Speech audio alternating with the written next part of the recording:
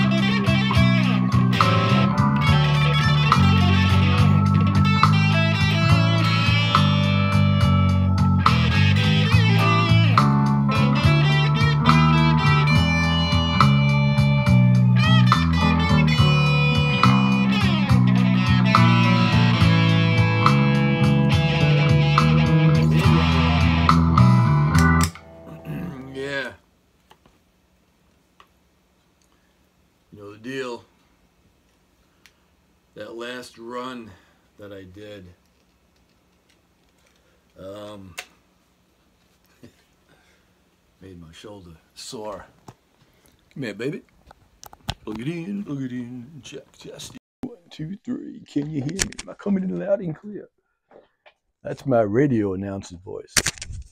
All right, so, so sorry, just hit the mic. Um, so my three agile guitars that I go to, my three go to, that are, sorry, click, click, click with the mic. Never be satisfied with the mic where I put it, the sound. I hate it as much as you do. So I read your complaints and I, I, I, I feel your pain. Um, so I only went with the agile, um, true Les Paul style single cut guitars um, that are have the heel, the set neck. And not only is it the only three that I have, but it's in the order that I grabbed them. I eliminated the 3200 series for the mere fact of the matter is they're neck through.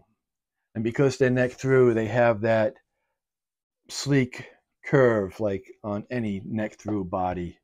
Um, you know, like the BC Riches and the, um, uh, I don't know, others.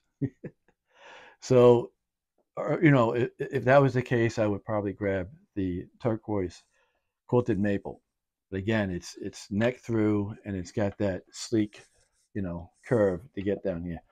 This is as true to form to a Gibson Les Paul copy guitar with the Gumby headstock. Gumby meaning, if you look at, you know who Gumby is, everyone should. Everyone that's my age, that's like his head. So yes, I I tend to grab these three all the time out of basically the 10 guitars that I keep um, on the wall out available for me to grab at any time without having to go through cases over there and cases in here and what do I have? Where is this? What's in there? Kind of thing. So, yes, this is my number one. This is my Agile, and I have to look every time. 3010 and someone said to me that it's it's uh, not an AL it's maybe an SE it's like a 3010 special because the white lines aren't in triplet going all the way around the headstock and the body and I'll show you on the I think the other two have that so yeah this is the the the blue blueberry burst and again, the only thing I did was I just changed the knobs. And does this? No. Okay, good. This does not have coil splitting to go from a humbucker to a single, which I like because I think that whenever they put splitting um, devices, you know, the knobs, the tone knobs, or the volume knobs to split the pickups, I think it just, to me, it just takes, uh, you know, a, a little bit away from the power of the pickup. And that's just me. That's just my ear telling me that.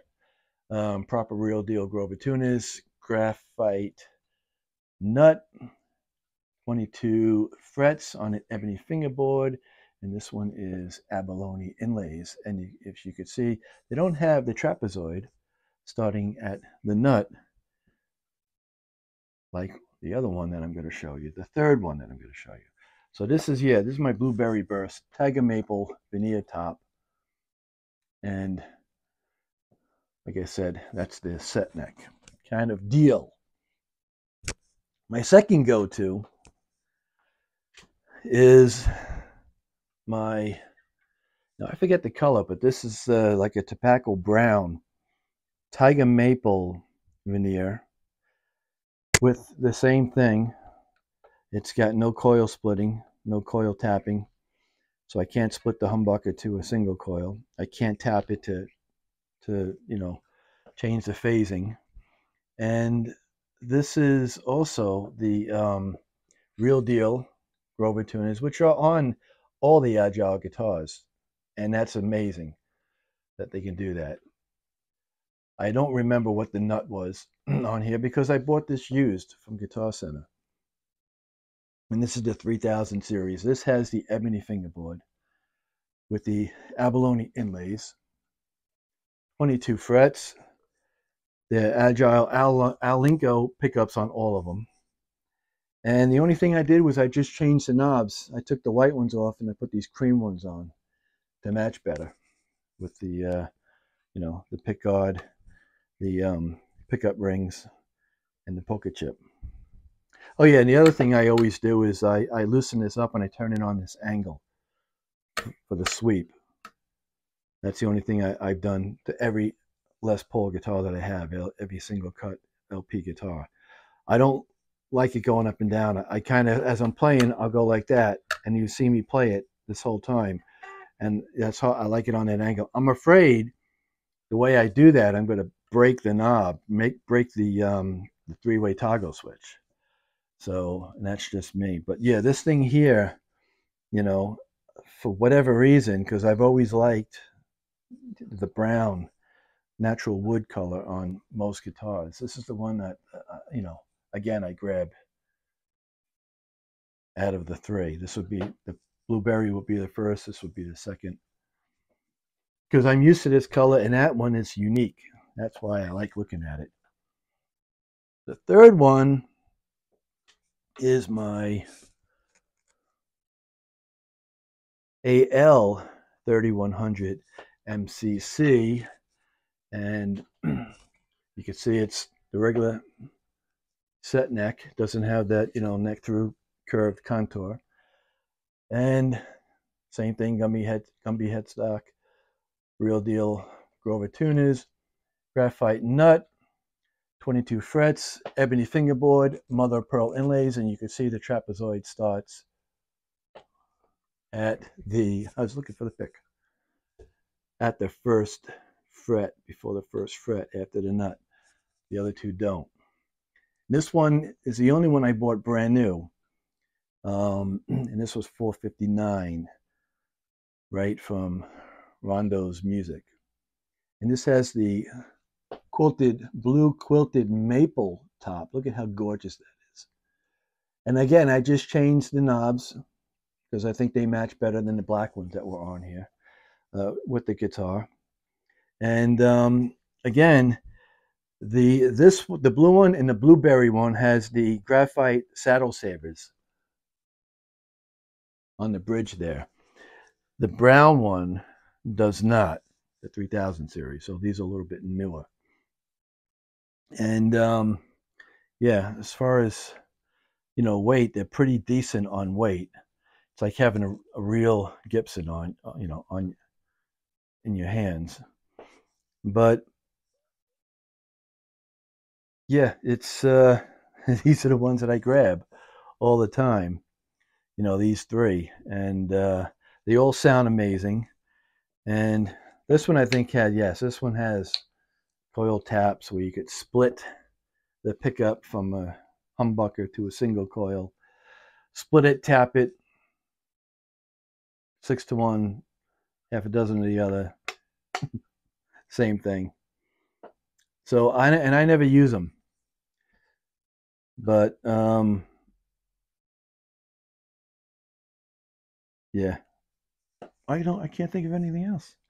Like I said, I I, I made a video which if I remember correctly, I'll post that one first.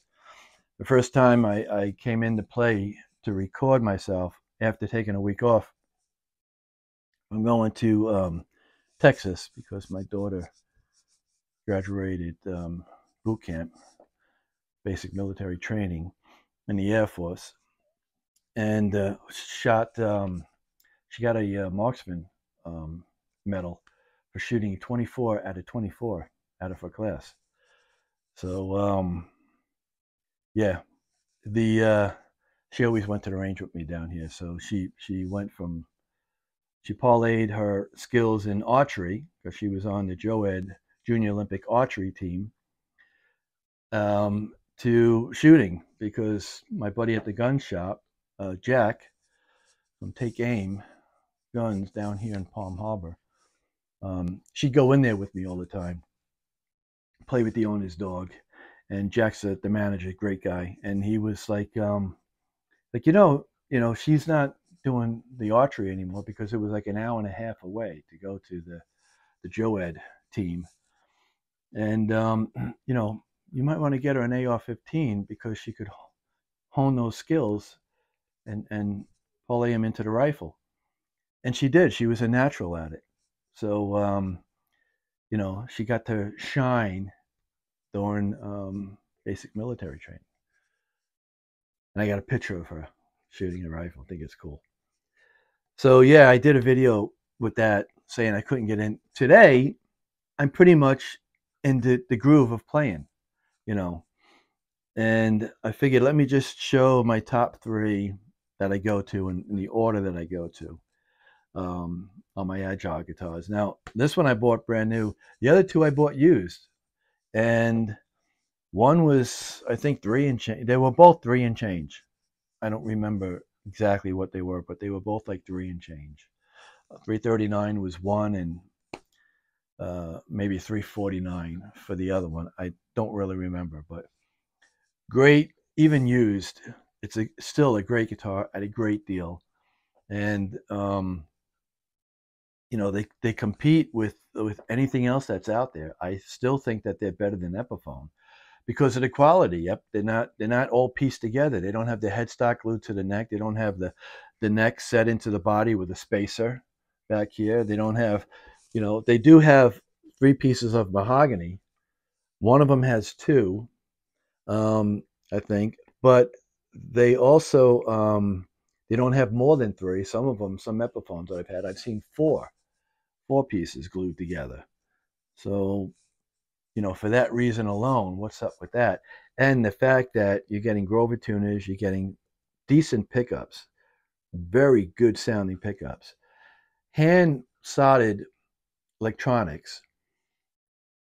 Um, even this one with the coil split, I do, I think I do remember pulling off the the plate, and this was um, this was shielded. The covers were shielded. The inside was shielded, and even though they were the the um, pull push to split the pickups, they were hand soldered. They weren't the quick clip in that's on the Epiphone.